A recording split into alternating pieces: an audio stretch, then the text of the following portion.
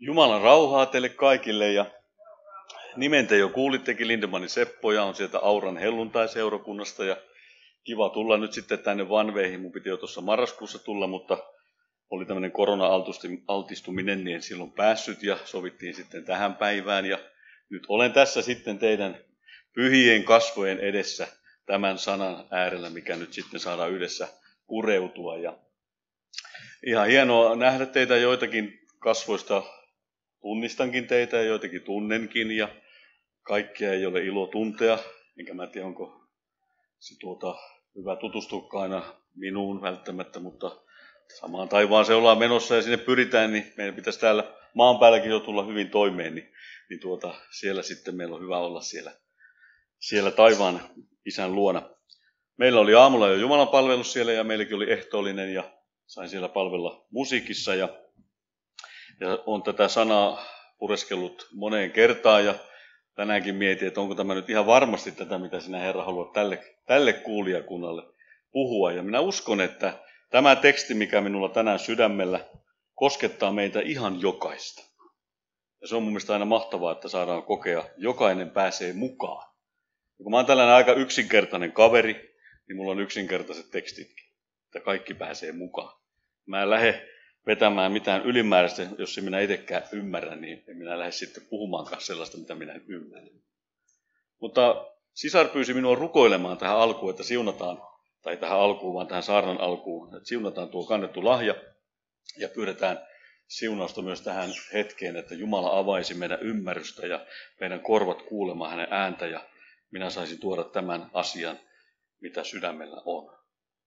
Herra, me kiitämme tästä iltapäivän hetkestä, me saamme lähestyä sinua ja kiitämme siitä mahdollisuudesta, me saamme tänäänkin kokoontua yhteen, Jeesus. Pureutumaan sinun sanasi, Herra, ja siunaa tuo kannettu lahja, mikä ollaan kerätty, Herra, sinun valtakuntasi työtä varten. Herra, siunaa jokaista antajaa tänään ja sitäkin, joka tänään ei voinut antaa. Herra, kiitos, että sinä olet antanut meille elämän, sinä olet antanut meille varat ja Herra, sinä opeta meitä niitä käyttämään ja ja Herra, siunaa jokaista meitä, siunaa jokaisen taloutta. Herra, sä tiedät meidän tarpeemme ja, ja Herra, kiitos sinun apusi ei myöhästy hetkeäkään. Herra, siunaa jokaista sisarta ja veljeä täällä. Herra, siunaa tämä sana, jonka laskenut sydämelle. Anna Herra auktoriteetti ja arvovalta julistaa sinun sanasi niin kuin se on kirjoitettu. Ja Herra, kiitos, että avaat sisarien ja veljenkin ymmärrys, saamme yhdessä rakentua tästä pyhästä sanasta. Herra, siunaa tätä hetkeä Jeesuksen Kristuksen nimessä. Amen. Te olette jo aika pitkään siellä istuneet, mä katson tuota kelloa ja minä yleensä pyrin, että ei hirveän pitkiä puheita, kun tuota, ihminen on rajallinen ottamaan vastaan. Ja tuota, minä yritän tästä nyt selviytyä. Ennen kuin mennään tuohon tekstiin, monillako teillä on tämä pyhä raamattu tänään mukana? Tästä mä oon joutunut omaakin seurakuntaa rohkaisemaan, että ottakaa Jumalan sana mukaan. Ja, ja meillä siellä omassa seurakunnassa on ihan hyvä syykin siihen, koska mulla on lukihäiriö, mä voin lukea täältä ihan mitä vaan.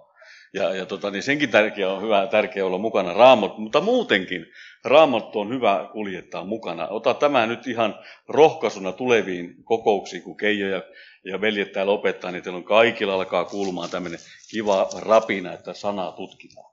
Koska se on todella tärkeää. Mullakin alkuvuosina, kun tuli uskoon, niin itse asiassa mä en kehdannut tuoda, kun kaverit oli sitten mukana, että onko nyt niin sitten jo pyhää Pietaria ja pappia, että sulla on tuo sana mukana mutta sitä jälkeenpäin sitten tajus, että ei se, ei se tuota, siitä ole kiinni, että saadaan ottaa sana, sana mukaan.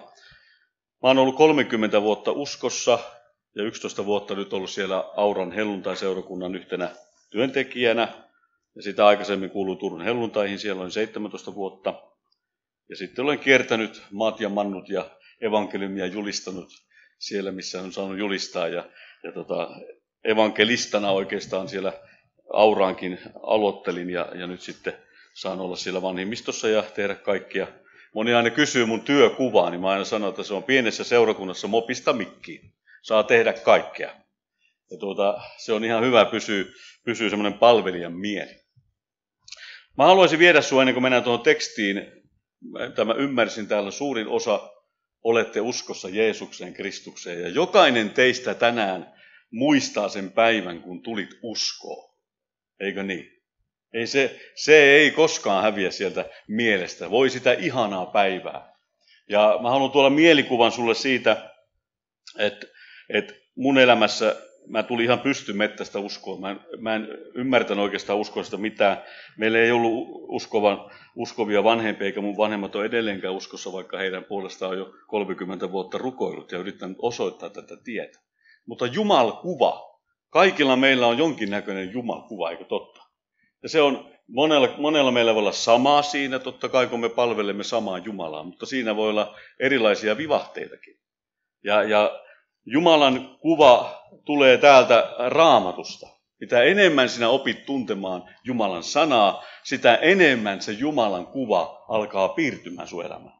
Ja sen takia Jumalan sana on meille annettu, lähetetty ja mitä me saadaan tutkia. Se on todella tärkeää, että meillä on Jumalan sana.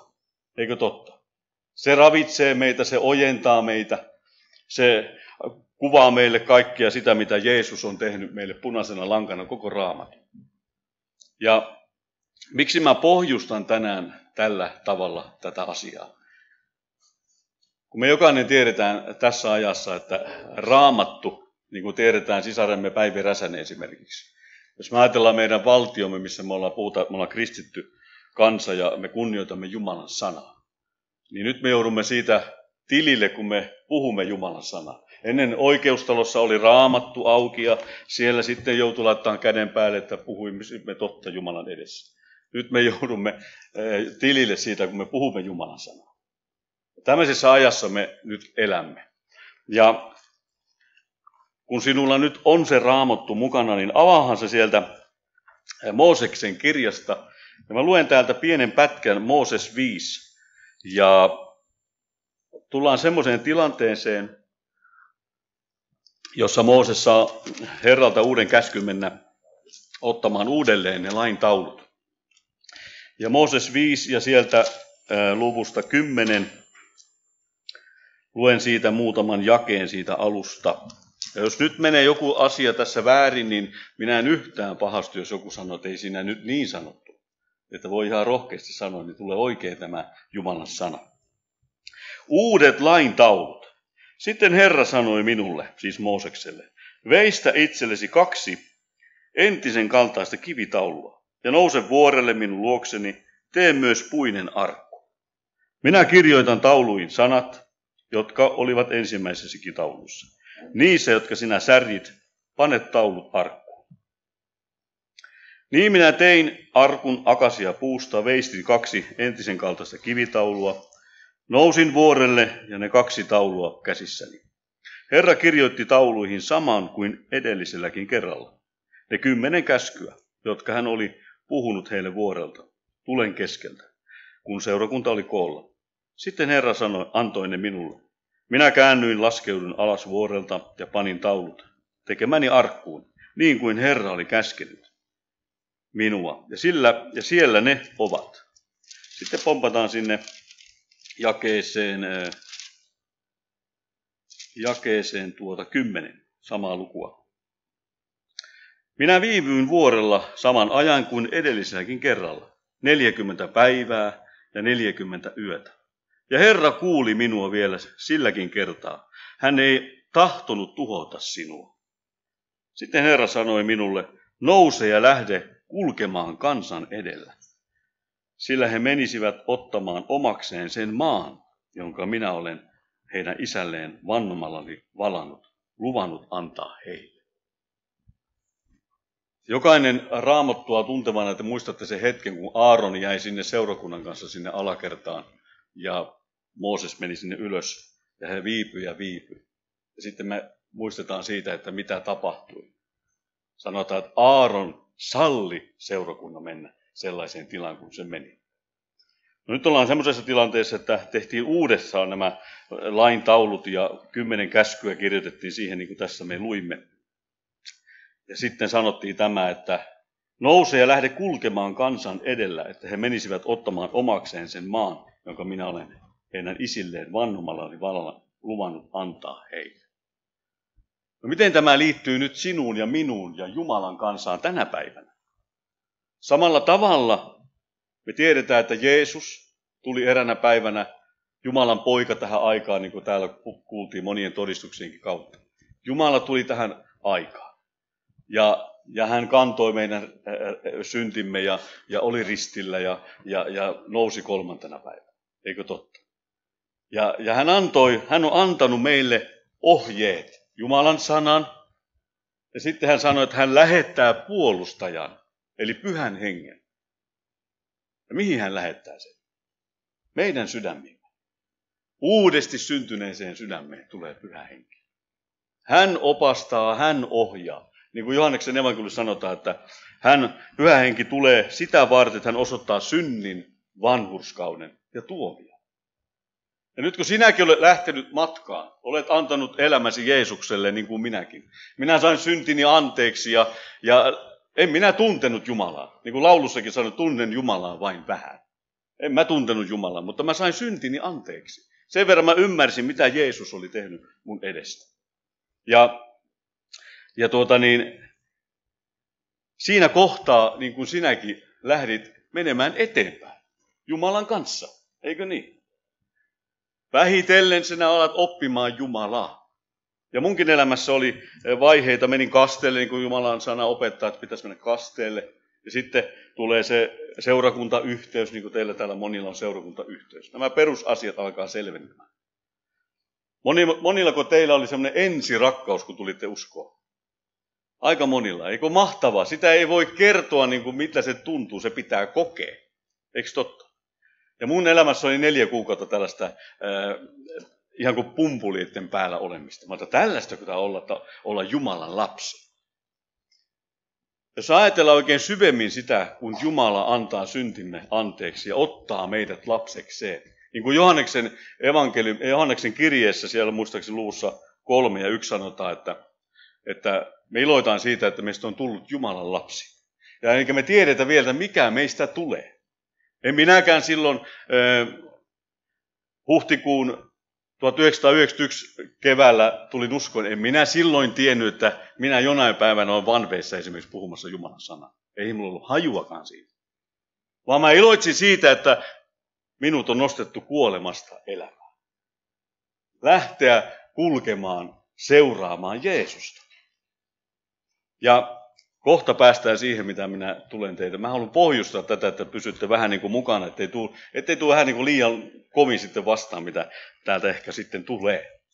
Lupasiko Jeesus sulle helpon tien? Lupasiko se helpon tien meille? Lupasiko Jeesus opetuslapselle, että ei mitään, teillä käy hyvin. Ei tule taisteluja. On halleluja kukkulla tämä elämä. Ei, eihän se sellaista raamattu lupaa. Tämä on kilvoituksen tie, tämä on kaita tie. Ja me jokainen tiedetään tässä, olet sä sitten ollut viikonuskossa tai vuoden tai eh, en tiedä kuinka kauan Keijo on ollut uskossa kymmeniä vuosia, niin varmasti meillä on kokemuksia. Ei tämä olekaan helppo tie. Mutta on meillä puolustaja, on meillä Jeesus, on pyhä henki, joka opastaa. Ei hän jätä meitä orvoksi. Ja samalla tavalla täällä sanotaan Israelin kansalle, että, että hän, hän tuota, niin sanoo täällä, että Mooseksen lähde kulkemaan kansan kanssa. Jeesuskin avasi tien. Minne? Taivaaseen. Lähetti pyhähenkensä. Pyhähenki on meillä, jotka opastaa meitä. Ja nyt päästään siihen, mitä mä haluan tänään teille sanoa. Luetaanpa siitä eteenpäin. Mä käytän tätä Raamattu kansalle käännöstä, niin tässä sanotaan mustalla otsikolla näin. Herra vaatii kuuliaisuutta. Onko tuttu sana? Kuuliaisuus. Ja sitten sanotaan näin. Ja nyt, Israel, mitä muuta Herra sinun Jumalasi sinulta pyytää? Tulee numero yksi. Sinulta pyydetään, äh, hetkinen, ja nyt Israeli, mitä muuta Herra sinun Jumalasi sinulta pyytää, kuin että pelkäät Herraa? Oli numero yksi. Sille kansalle sanotaan, pelkää Herraa. Sitten sanotaan, ja Jumalaasi. Sitten sanotaan kakkoskohtana, vaella kaikessa hänen teitään. Sitten sanotaan kolmantena, ja rakasta häntä ja palvele Herraa Jumalasi koko sydämestäsi, koko sielustasi. Ja sitten viidentenä, Noudata Herran käskyjä ja säädöksiä, jotka minä tänä päivänä sinulle annan, että menestyisit. Mä oon kysy, pistänyt kysymyksen tänne, ja minä kysyn sitä nyt sinulta. Mitä Jumala odottaa sinulta?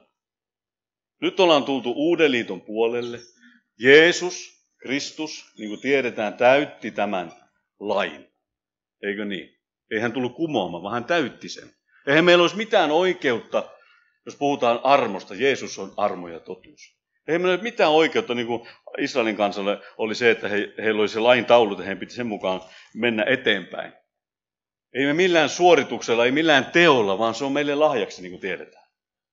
Me saadaan ottaa vastaan tämä lahja, pelastuksen lahja. Eikö niin? Ja me ollaan monet se otettu. Meidän on syyttömäksi julistettu. Eikö se ole aika mahtavaa?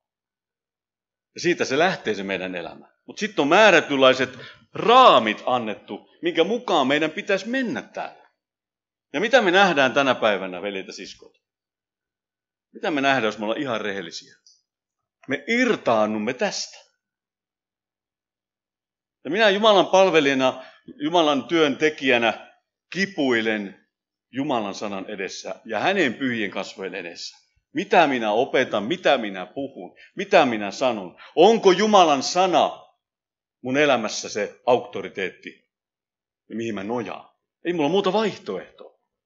Ja kun mä Jumalan sanaa itselleni luen ja sitten jaan sitä, mitä minä saan, niin minä huomaankin, että ne samat veljet ja siskot, jotka palvovat samaa Jumalaa, jotenkin se Jumala kuva ei olekaan ihan sama. Me nähdään eri lailla. Miksi me nähdään eri lailla? No me ollaan eri lailla kasvettu. Me ollaan eri piirissä tultu. Eri elämän tilanteessa. Joku on tullut lapsena uskoon, joku aikuisena, joku vähän vanhempana. Elämä on eletty. Eri olosuhteista tullaan uskoon, eikö niin? Mutta silti se Jumalan sana on meille kaikille. Ja siellä sanottiin, että pelkää. Pelkää Jumalaa. Kunnioita. Onko, meillä, onko mulla Jumalan pelkoa? Minä kysyn sulta, onko sinulla Jumalan pelkoa? Mietipä sitä, onko sulla Jumalan pelkoa? Otetaan raamattu avuksi sieltä salmista 111, on tämmöinen hyvä kohta. Sanotaan tällä tavalla, salmi 111 ja 10.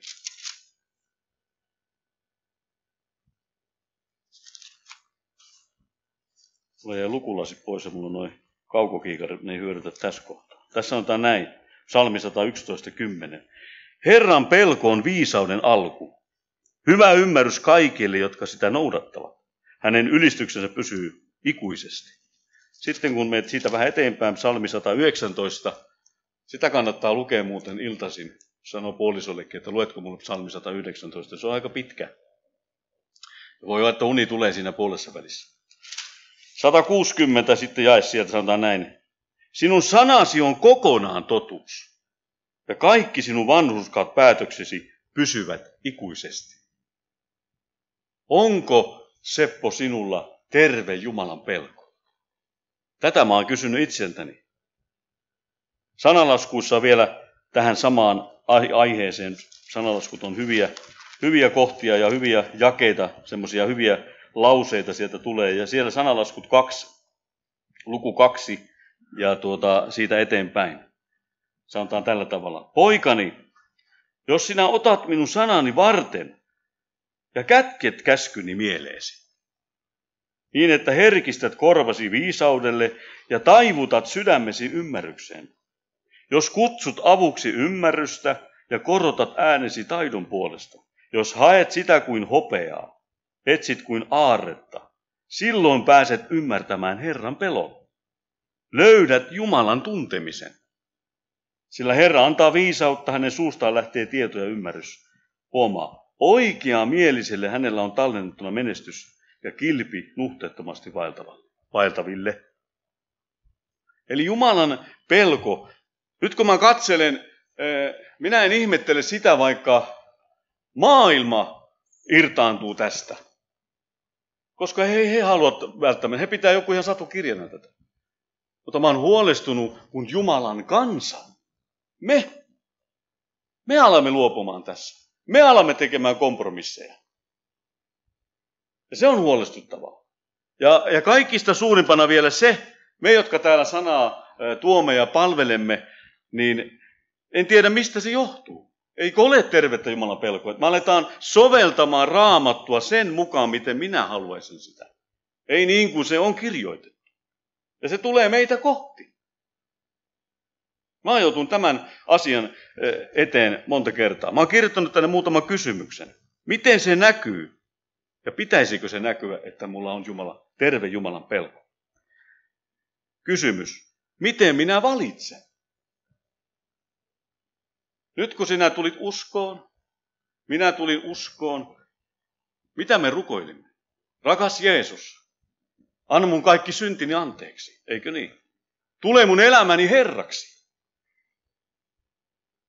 Tästähän me, tästä alkaa se kilvoittelu. Kuka on minun elämäni Herra? Tämä minä, tämä liha, tämähän on koko ajan mukana. Ei tämä mihinkään tuota, niin tästä häviä ennen kuin päästään kirkkauteen. Tämä on koko ajan mukana. Ja sehän meitä kiusaa. Ja se yrittää estää sitä. Eikö niin? Kyllä meillä jokaisella on kokemusta. Ja jos me valvoo omaa tilaa, niin me huomaamme, että kyllä se vanha Seppo vaan nopeasti nousee sieltä esille. Ja silloin mielipiteitä. Jos jonkin moista. Jos siltä kysyy. Mutta niin kuin Jumalan sana opettaa, ja mennään kohta siihen, että me saadaan se kyllä aika pienelle, mahdollisimman pienelle yrityselämän kautta. Ja miten me sitten valitsemme tänä päivänä, kun raamatussa otat sieltä Johanneksen evankeliumin kohdan, missä Jeesus sanoo, Johanneksen evankeliumin luku 1, tällaiset sanat. Kuuntelepa tarkkaan. Sillä laki on annettu Mooseksen kautta, niin kuin kuulimme. Armo ja totuus ovat tulleet Jeesuksen Kristuksen kautta. Jeesus Kristus on armo, mutta hän on totuuskin. Molemmat. Vähän niin kuin vasen ja oikea käsi. Ja nyt, mitä se liittyy tähän Jumalan pelkoasiaan, niin se liittyy minun mielestä sillä tavalla, kun me heitämme nopeasti sinne armon puolelle, että me saamme tehdä valintoja, me saamme tehdä asioita, mitkä on Jumalan sanaa sotaa vastaan, tai siis soti Jumalan sanaa vastaan. Ja sitten me kuittaamme sen ikään kuin, että no se on, Jumalan armo riittää tässä asiassa. Riittää, riittää. Määrättyvästi se riittääkin. Eikö? Ja me äkkiä, vaikka me tehdään minkälaisia valintoja, kun se sanotaan, että jos me syntimme tunnustamme, niin mitä tapahtuu? Laupeus. Jos, huom, jos, se on aika monessa kohtaa se, jos te pidätte minun käskyni, jos te rakastatte minua, te pidätte minun käskyni. Se jos on aika iso sana. Ja mä oon, oon itse joutunut tämän asioiden eteen tällä paikalla, mihin Jumala on asettanut tänä päivänä palvelemaan. Seurakunnan edessä. Ja jos en mä pysty ja meidän veljettemme pysty pitämään tästä kiinni, meillä on ongelmia. Me tiedetään, että tuolta ovesta ei tule onnistuneita ihmisiä. Me tiedetään, että niillä on omat haasteet. Me ollaan jokainen määrätyllä tavalla rikki ja, ja, ja meillä on omia e-, elämän tilanteita, kun me tulemme Jumalan lapsiksi. Mutta jotenkin sitten me jossain kohtaa unohdamme ja kuulemme tämän ajan virtauksissa, että, että vähän niin kuin, että kaikki on luvallista, kaikkia saa tehdä. Ei se nyt ihan niin olekaan. Ja tulkintoja tulee sen mukaan, mitä on miestä ja naistakin. Mä nyt puhun tällä aika suoraan. Mä tykkään puhua suoraan, enkä mä halua ketään loukata. Me, ollaan, me tiedetään, miten, tämä, miten tämä, tämä aika niin kuin meillä menee eteenpäin. Ja, ja, ja varsinkin sellaisia räikeitä ö, tapauksia me nähdään, niin kuin Tessalonikas kirjassa puhutaan siitä, että laittomuus saa valtaa. Luopumus. No mitä muuta me nähdään kuin luopumusta tänä päivänä meidän keskellä? Mistä me luovutaan? Tästä ensimmäisenä. Siis uskovat. Me luovumme Jumalan sanasta. Ja sitten me ihmettelemme, että kuinka Jumalan henki ei pääsekään toimimaan ihan niin kuin hän haluaisi toimia.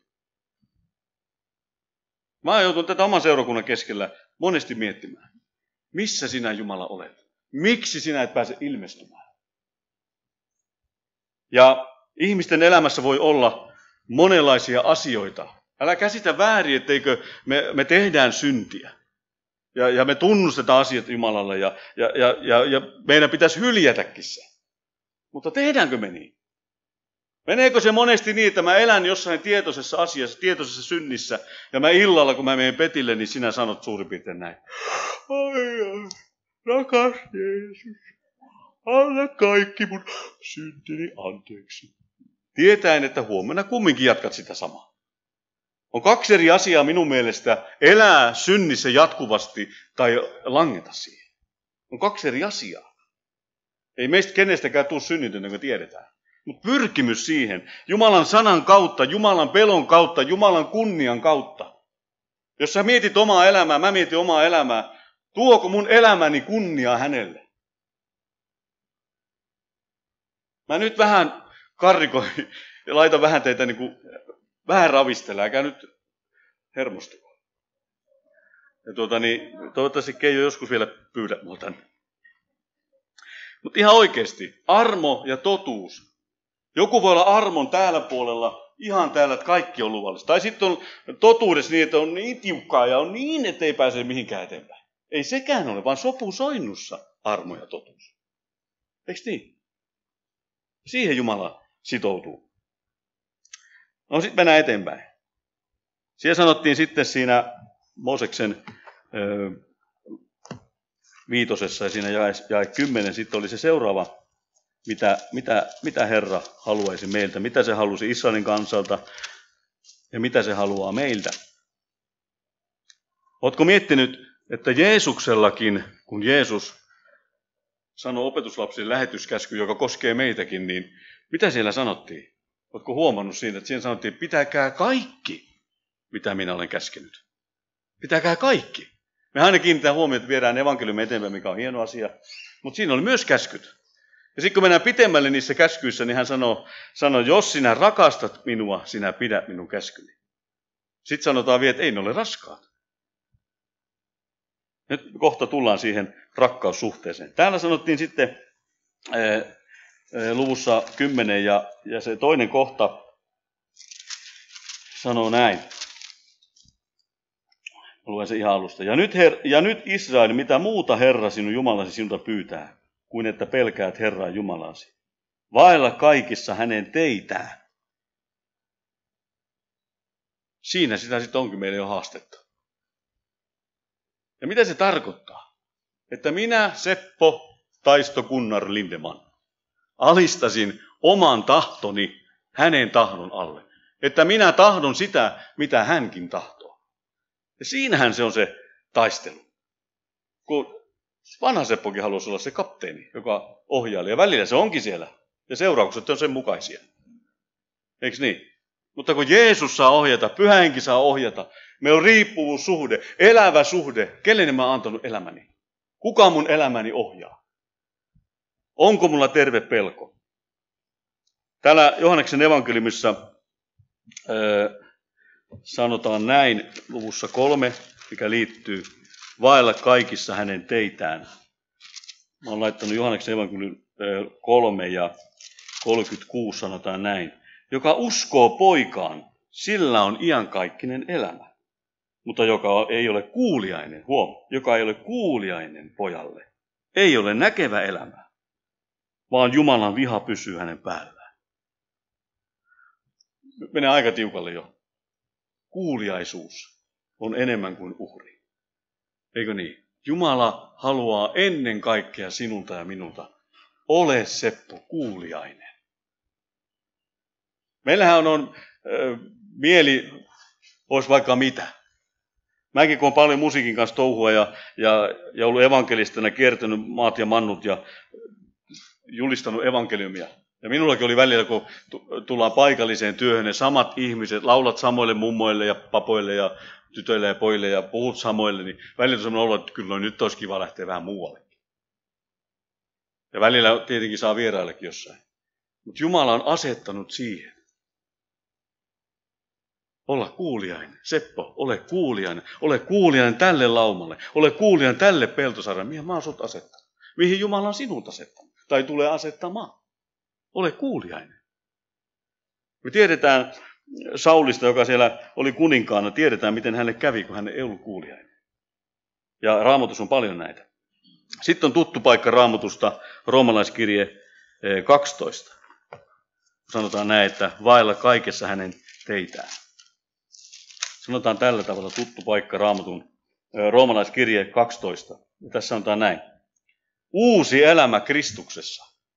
Eikö ole hienoa silloin, kun sä tulit uskoon, niin sulla oli sellainen palvelija ja semmoinen ensirakkaus. Ja vaikka olisi mitä Herra sanoi, meikö tekemään, niin sä olet heti valmis.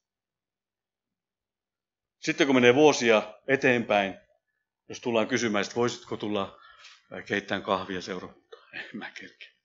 Mulla on sitä ja tätä. Tai voisitko tulla siivoamaan tai palvelemaan johonkin. Kas kummaan se on yhtäkkiä johonkin hävinnytkin se. Ja tätä mä tapaan tosi paljon seurakunnan keskellä. Meillä on muut asiat enemmän mielessä kuin hän. Jos me ollaan rehellisiä. Ja kun me ollaan, eletään hyvinvoinnin keskellä, meillä on kaikkia. Meillä on kaikkia ympärillä ja, ja sitten se vaatii meitä, että me pidämme yllä sitä, niin meidän täytyy tietenkin tehdä töitä, että me saadaan pidettyä ne yllä. Ja se vie ajan häneltä, jolla meille pitäisi antaa aikaa. Ja tässä sanotaan näin. Roomalaiskirja 12.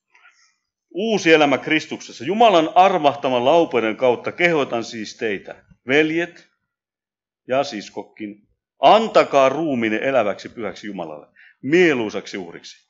Tämä on teidän järjen Jumalan palveluksen. Sitten sanotaan, älkää mukautuko tämän maailman ajan menoon, vaan muuttukaa mieleltänne uudistuksen kautta, jotta voisit tutkia, mikä on Jumalan tahto, mikä on hyvää, hänen mielensä mukaista ja täydellistä.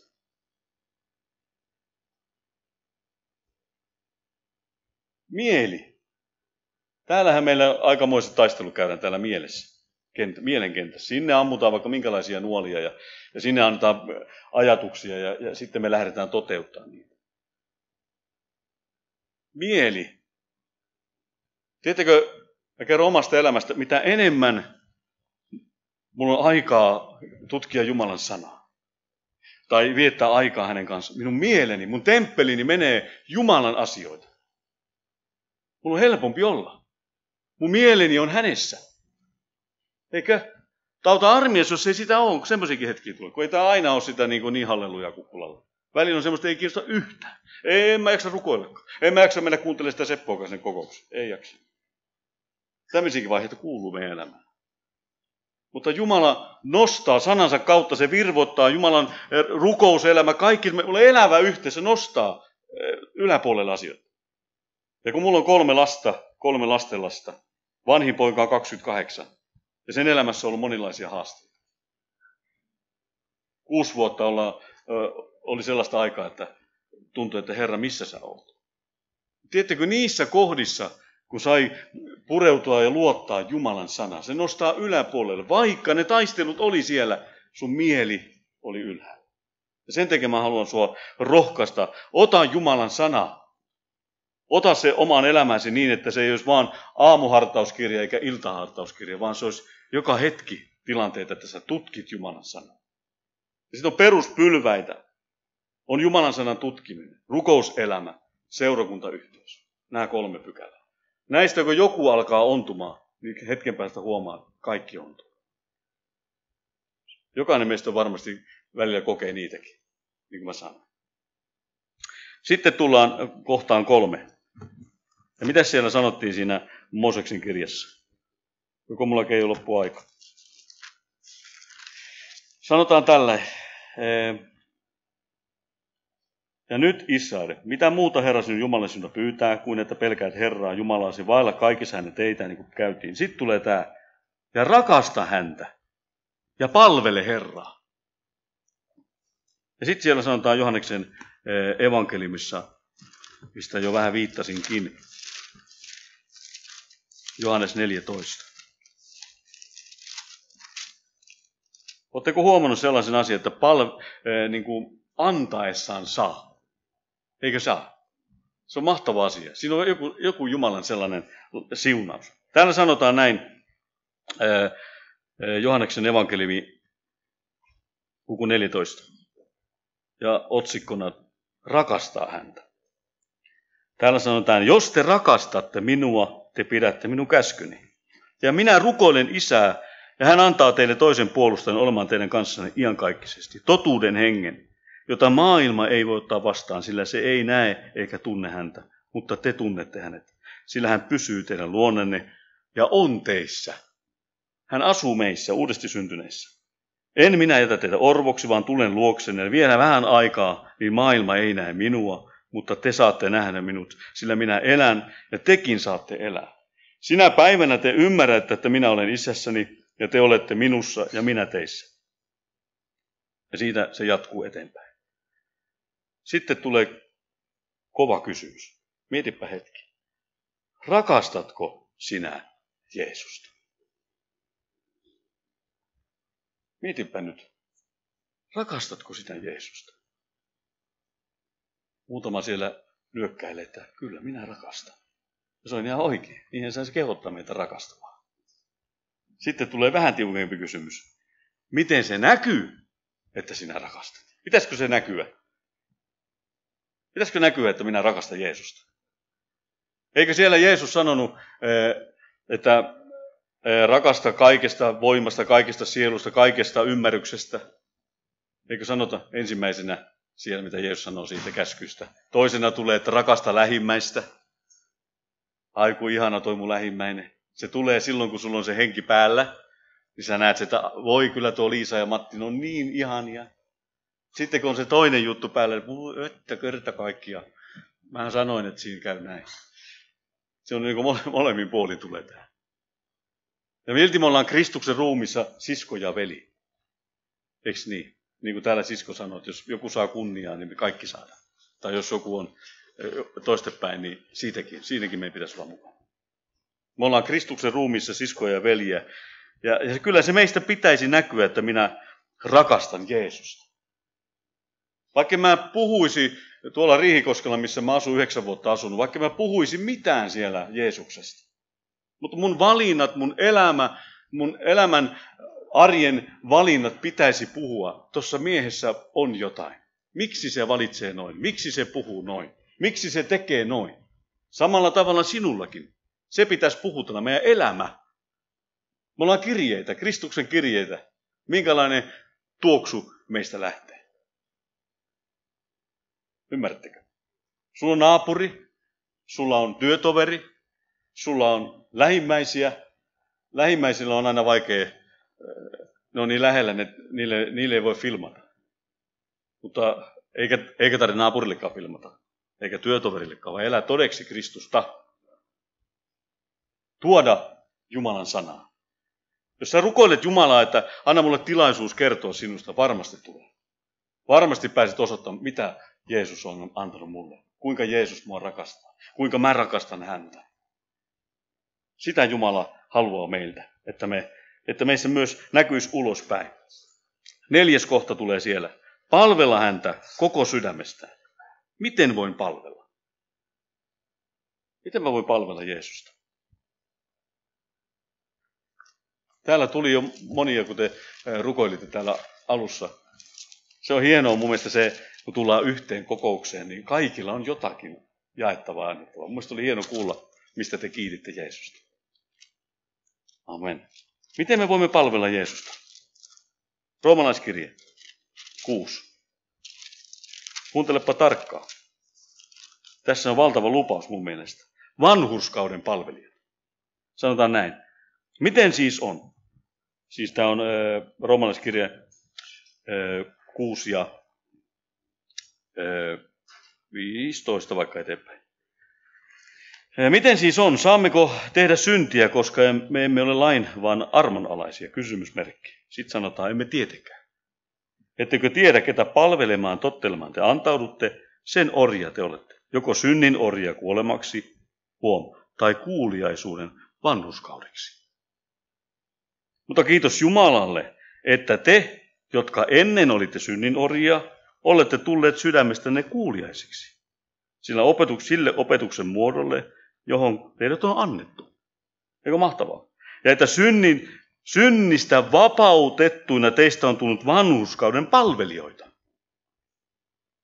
Aamen. Puhun inhimillisellä tavalla teidän lihanne heikkouden tähden, sanoo Paavali.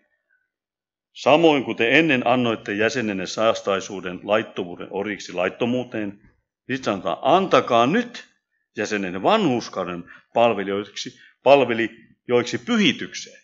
Ja sehän se on se, mihin meidän pitäisi. Mikä on se hedelmä? Se tulee täällä sitten. Jatkuu.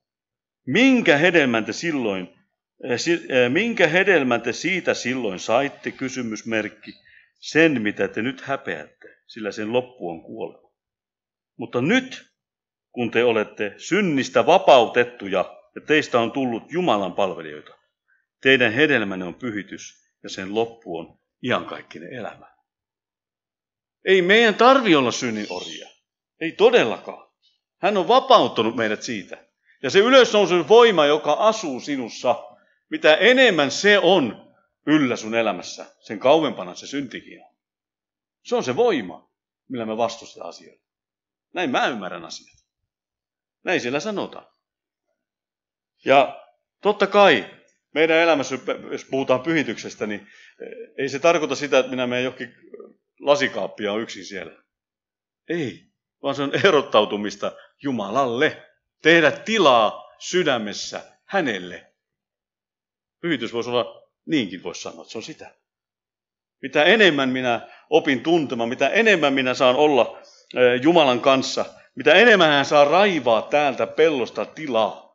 Niin kuin Lampisen sanoi, kun sä tulit Seppo uskoon, niin siellä oli ennen ehkä Kuokka ja Jussi. Nyt siinä tuli Jeesuskin. Sitten katsottiin sitä pellon reunalta, että kyllä täällä on aika paljon tavaraa ja rikkaruohoa ja hommia riittää. Ja niin se on. Ja sitten lähdetään Jeesuksen kanssa tekemään työtä. Me tiedetään jokainen, me ollaan jossain vaiheessa omassa elämässä kasvussa eteenpäin. Ja se on hienoa, että on kasvua. Ja saadaan palvella Jumalaa, saadaan tehdä Jumalalle asioita. Ja sitten, ennen kuin tuo Keijo näyttää mulle kelloa, niin mä otan tämän viimeisen kohdan vielä. Ole kuuliainen, siitähän me jo puhuttiin. Ja tämä on se, mihin, mikä on tämän, mistä me lähdettiin tästä Jumalan pelosta liikkeelle. Ja, ja mä kerron muutaman ää, asian, miten se liittyy minuun henkilökohtaisesti. Ja mä uskon, että se liittyy myös sinunkin.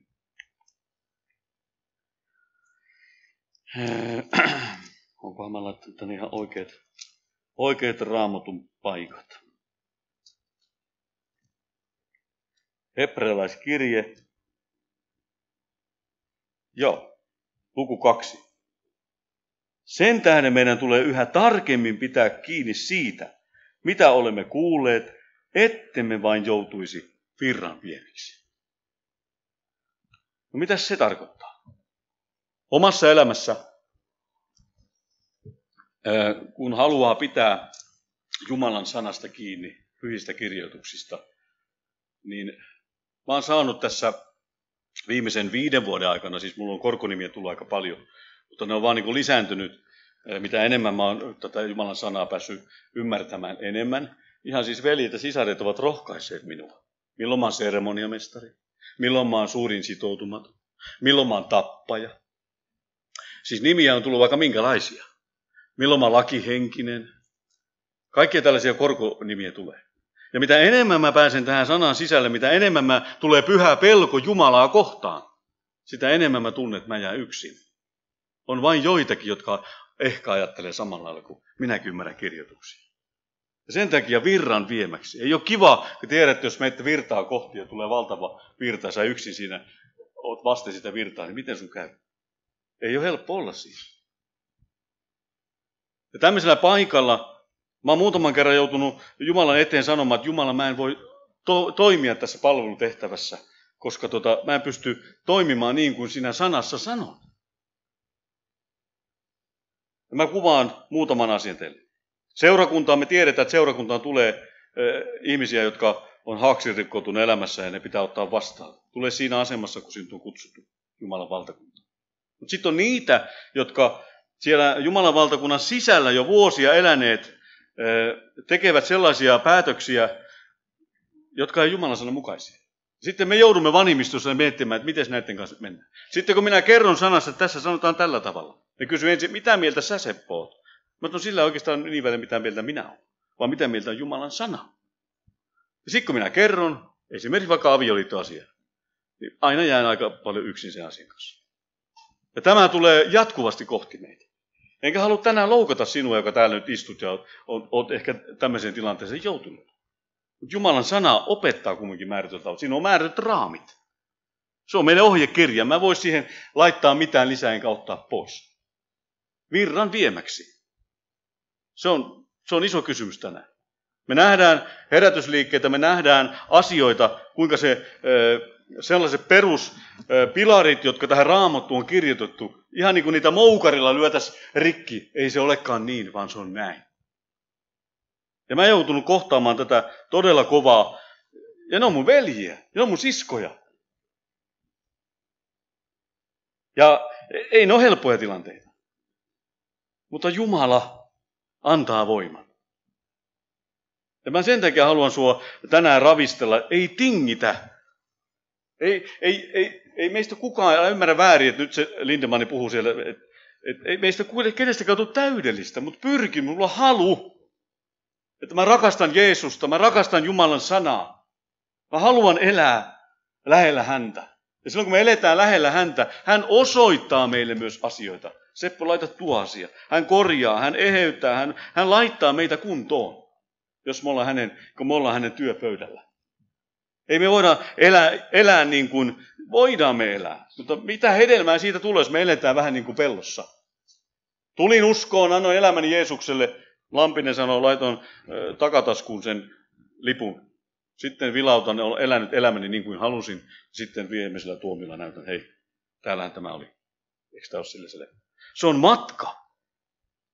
Eihän me vielä olla pelastuttu, kun me uskon tullut. Siitä alkaa kilvottelu. Moni on jäänyt taipaleellekin, jos ollaan rehellisiä. Se on kilvottelun tie, kaita tie. Mutta hän on luvannut viedä meidän perille. Hän vie, mutta siinä on määrätyt raamit. Ja sen takia, rakkaat siskot ja veljet, tästä eteenkin päin pidetään sanasta kiinni. Tutkitaan sitä, annetaan sen puhua. Eletään todeksi sitä. Ja mikä on seurakunnan tärkeimpiä tehtäviä? Se tulikin täällä jo. Voittaa ja hoitaa. Voittaa ja hoitaa. Ei, ei sen monimutkaisempaa ole seurakunnan työ. Kun mä kuuntelin tuota siskoa, joka luetteli, että toimintaa teillä täällä ainakin näytti olevan, että joka päivälle on valtavasti asioita ja se on hienoa, että on, on virikkeitä. Silti pitää mielessä aina se, voitetaan Kristukselle. Ja sitten me, jotka täällä saadaan vanhimmistossa olla ja, ja veljen sisara palvella niitä, opettaa niitä, pysyä seurakunnan yhteydessä, opetuksessa. Jos luet apostolien tekoja, siellä on neljä kohtaa siinä ihan alussa heti. Miten se alkuseurakunta pysyy kasassa. Ne pysyy keskinäisessä rukouksessa, ehtoollisessa. Meillä on nämä samat elementit. Mutta meillä on kovia kilvoittelijoita sen rinnalla, kun tulee sunnuntai kello 16 ja katsotaan vanveen lista. Ai, Lindeman Seppo NV tai joku muu. Vaan tullaan yhteen rukoilemaan, etsimään Jumalaa. Ei tehdä kompromissia. Kunnioitetaan Jumalaa. Mua aina pikkasen kun sanon aamen tämän jälkeen, niin pikkasen aina Jumala on pyhä, eikö totta? Ja monesti me kevyt kenkäisesti ää, nimittelemme Jumalaa. Minun mielestä Jumala on pyhä. Sille pitäisi antaa kuntia. Se, se ei ole mikään Jesse. Se on, se on Jeesus Kristus. Ja niin edelleen. Annetaan se Jumalalle se kunnia, koska se kaikki kunnia kuuluu hänelle. Herra, me kiitämme tästä hetkestä, jolla on saatu sanaa, Herra, tutkia ja Herra, mitä mä en osaa tuoda, Herra, esille, niin kiitos, että pyhä henki tulee ja auttaa näissä tilanteissa. Auta meitä, Herra, pureutumaan jokainen vielä syvemmin, Herra, sinun sanasi. Me kiitämme siitä, että niin kuin sä sanassa sanot, meidän nimemme lukee elämän kirjassa. Herra, me iloitsemme siitä, että sä oot tullut meidän elämän herraksi. Sä näet tämänkin seurakunnan, jokaisen veljen ja sisaren tänään, Herra. Tiedät heidän elämän, tiedät elämän tilanteet. On lähdetty kirkkaasti matkaa ja tiedät heidän haasteet ja tarpeet ja asiat ja taistelut. Sä tiedät kaiken Jeesus meistä. Me ollaan alastomia, Herra, tänäänkin sun eessä, Jeesus. Kiitos Herra, että sä, Herra, katuvankin sydämeen tänään, Herra, sä haluat antaa anteeksi. Ja Herra, kiitos, että me saadaan tunnustaa asioita sun edessä. Ja aloittaa aina alusta, Herra. Kiitos, tuon veresi riittää tänäkin iltapäivä hetkenä puhdistamaan kaikesta, Herra, sellaisesta synnistä, väärästä, Herra, mikä rikkoo, Herra, meidän välejämme. Herra, siunaa tänään ystävä, joka kokee, että kelpaanko minä vielä. Kyllä sinä kelpaat, kun me tunnustamme syntimme ja hylkäämme syntimme ja saamme elää vapaana. Kiitos, että veri riittää tänäkin päivänä. Siunaa tätä seurakuntaa. Siunaa näitä jokaista täällä, jotka palvelee Herra. Auta Herra jokaista, Herra, tämän kilvoituksen tiellä pysymään. Tällä kaidalla tiellä, Herra, että me, Herra, perille pääsemme. Herra, siunaa tätä seurakuntaa Jeesuksen nimessä. Amen. Minä kiitän